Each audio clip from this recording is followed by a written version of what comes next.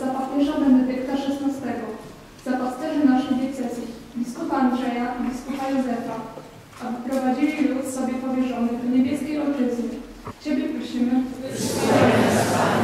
módlmy się za naszą ojczyznę i kierujących nią, aby Bóg otaczał ją opieką, a kierujący państwem szukali prawdziwego dobra narodu. Ciebie prosimy, Módlmy się za naszą parafię, w której przeżywamy dni nawiedzenia kopii obrazu jasnogórskiej Madonny, by wpatrzona w świętość Maryi starała się naśladować ją jak najgorliwiej. Ciebie prosimy. Módlmy się za wszystkich chorych i cierpiących z naszej wspólnoty parafialnej, aby swoje doświadczenia życiowe i cierpienia łączyli z krzyżem Chrystusa. Ciebie prosimy. Módlmy się w intencjach dzisiejszej mszy świętej o Boże błogosławieństwo i opiekę Matki Bożej dla Urszuli i Andrzeja Kurasz z okazji 38. rocznicy ślubu oraz o potrzebne łaski i zdrowie dla Marka. Ciebie prosimy.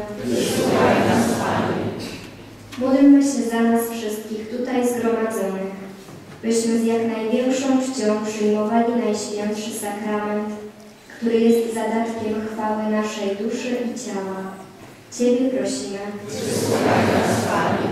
Boże Wszechmogący i Miłosierny, razem z Maryją, Matką Twego boskiego Syna, zanosimy jej wspólne błaganie i prośby.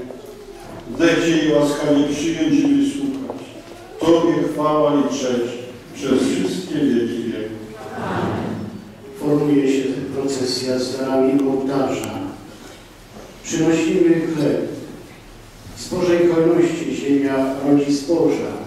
Maria wspomaga nas swoją przemożną opieką, dzięki czemu nasze ludzkie ręce zdolne są przetwarzać te złociste głosy.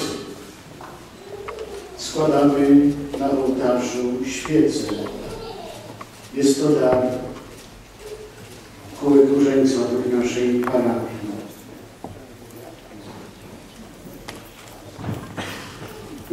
Dzisiaj Kana Galilejska naszej parafii, której przybywa stolica mądrości, Maria.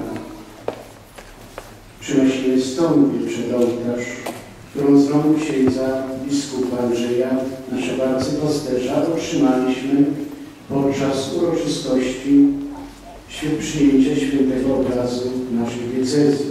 Składamy w niej nasze dobre, szlachetne zobowiązania z racji dzisiejszej uroczystości. Chcemy napełnić ten stąpi aż po brzegi naszymi, naszym przemienionym życiem.